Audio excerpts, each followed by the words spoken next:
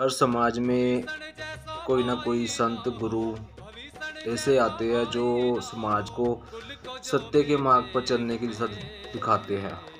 जैसे कि वाल्मीकि समाज में परम पूज्य प्रभु रत्नाकर जी, जिन्होंने वाल्मीकि नित्यनेम अक्षरमाला और साप्ताहिक वारों के जो विचारधारा की बदौलत समाज को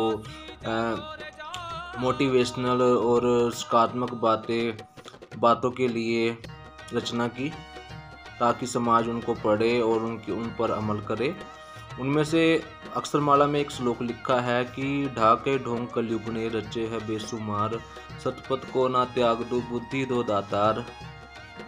कि दुनिया में, कलयुग में दुनिया भर के ढोंग है, पाखंड है अडम्बर है।